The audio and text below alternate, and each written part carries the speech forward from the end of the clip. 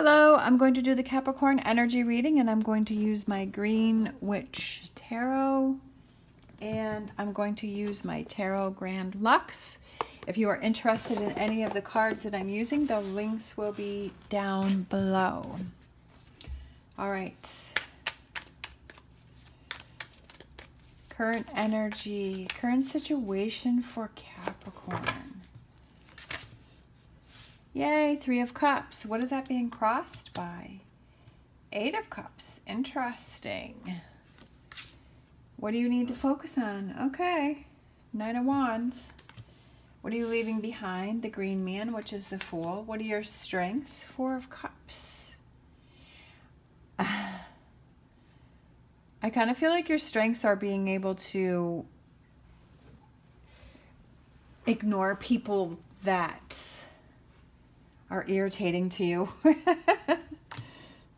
um, near future, we have the Four of Swords taking a break. Advice, Lord of Shadows, which is the Death card. The environment is Eight of Eight of Swords. I feel like it's it's sort of realizing the energies that are holding you back. Um, there could be people that are surrounding you that are holding you back. Um, hopes and fears, we have the Empress, and then uh, potential outcome, we have the Two of Swords. I feel like it's just realizing a situation. Realizing a situation or a friendship for exactly what it is. Like, I feel like there's a friendship, there's something that you're questioning. Is something too good to be true? Um, is someone being real?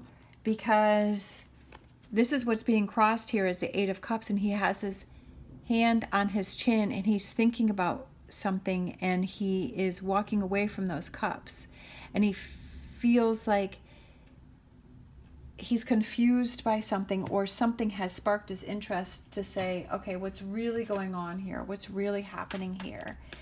I feel like there's a falsehood of some kind. I feel like you have this feeling that something isn't right, that you have this red flag around you. And I feel like that's something that you need to explore. I feel like it's something that you need to see. I, I, I definitely don't think it's something, definitely with the depth, like there's something not right. Too good. It's funny because that's, that's, this is the energy that I was feeling right here when I said something that seemed too good to be true because these are all of the the cups and the pentacles and the wands and the swords, but they're covered in gold to represent that it's something that is fool's gold, false. There's a falsehood here in this friendship or someone that's around you or something seems too good to be true. And that's exactly what I was thinking of. And that is so cool that that card came out. It could have to do with money. Is it an opportunity? Is it a career? Is it a job? Is there some sort of opportunity that has come up that seems too good to be true? I feel like it's kind of like this gnawing feeling in your like insides that are just saying something's not right. I feel like this is definitely something that you need to explore, that you need to look into because I feel like it's a red flag for you and you have to make sure that you check that out, right? We have the Five of Wands, and we have, yeah, something's not clear. There's some sort of deception here. And I feel like before you move forward, make sure that you check into it, right?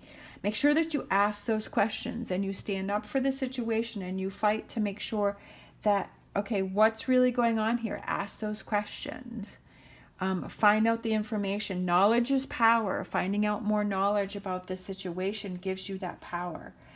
Um, what you're leaving behind, we have um, Six of Cups, we have the Fool, and we have the Eight of Pentacles. I feel like it's something that maybe you were used to or was around for a long time, or maybe it was a dream that you had, idea that you had in your childhood. I feel like it was something that maybe it made you happy at one time, but then it's it's sort of fizzled out. Um, I feel like it's sort of a direction that you were starting to go in, but then you kind of turned around and you did um, a 180, and you're like, okay, that's that's not what I thought it was. That wasn't what I was thinking. but that's okay because I feel like you avoided a big negative. Um, your strengths, taking it one day at a time, 10 of Pentacles, making things work out, embracing challenges, embracing the fool energy.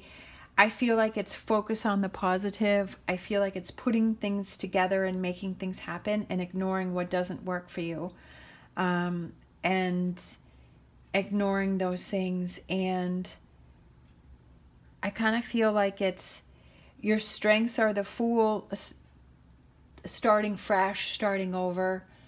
Even though I feel like you don't like starting over, but I feel like when you see that something has come to an end, like it's over, it's done, and that you pull yourself up and you'll continue to go and you continue to keep going and you don't give up.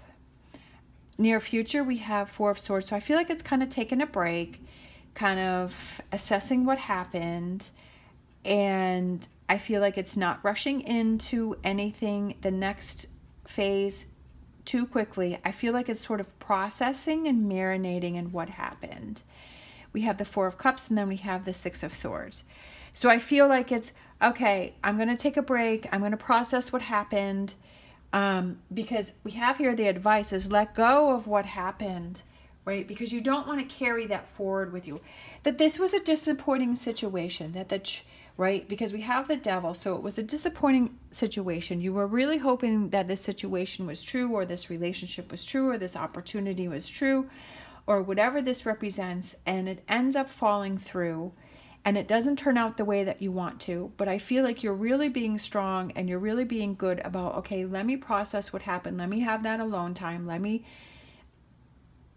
figure this out. Let me process it. Let me work through it and let it go. So that way I'm not moving forward because the advice is the death card is don't bring this energy forward with you. Um, because you want to be the strongest that you could be. And then we have the page of pentacles, which is that young new energy that's coming in and you're feeling good, right? You're feeling good. You pulled yourself up. You got back on track. Just like one of your you know, um, your strengths is okay, I'm just going to take it one situation at a time, one day at a time. I'll work through this. I'll get through this. Motivate yourself, right? And then the environment, so I feel is twofold here with the Eight of Swords, is that this beginning energy was that you were holding yourself back because you weren't seeing the truth of a situation. But then the environment can also represent that now you're ready to handle it, right? Now you're ready to break free. Now you're uh, definitely with the Knight of Swords. Look at how he's holding that sword so strongly, and we have the eagle. Now you're ready to soar. Now you're ready to move forward. Now you're ready to make things happen. Um, you've taken that time to process and let go and work through and see, okay, this is where I need to go. We have hopes and fears. We have the Empress. I love it. It's new partnerships, new friendships. It's growing, it's learning, it's evolving, it's changing.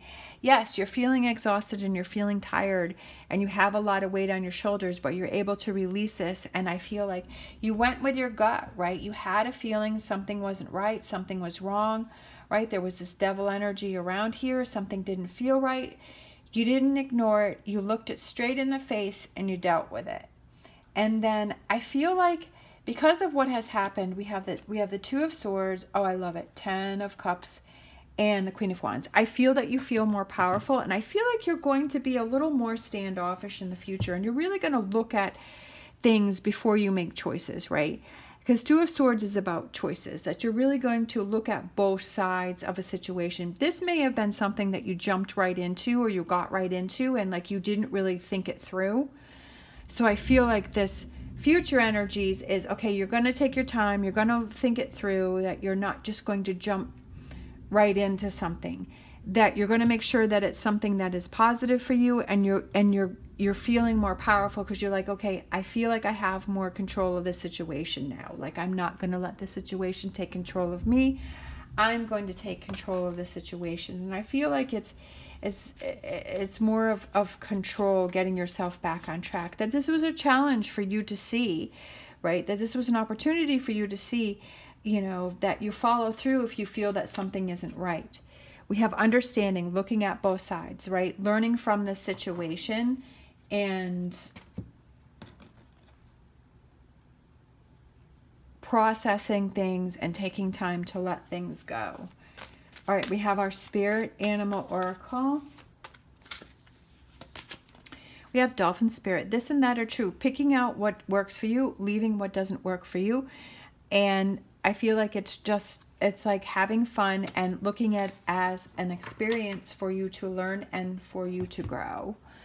And let's see, let's grab a wisdom of the oracle too. Wisdom of the oracle for Capricorn for this reading. Whoops. Those two fell out, so let's go with those.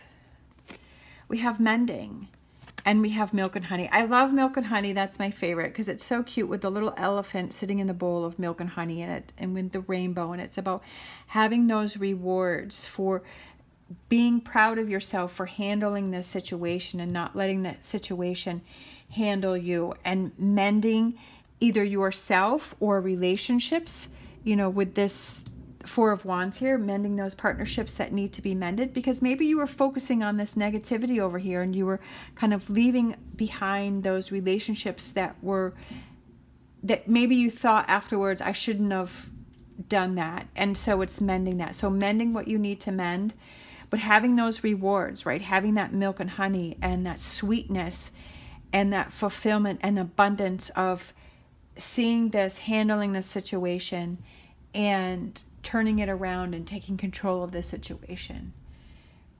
Love it. All right. Thank you so much for watching. As always, stay positive, stay safe, and I will see you next time.